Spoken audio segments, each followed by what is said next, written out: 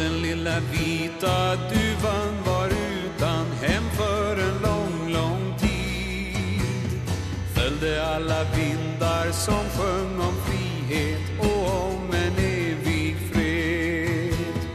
Och den lilla vita duvan hon mötte duvor från samma land.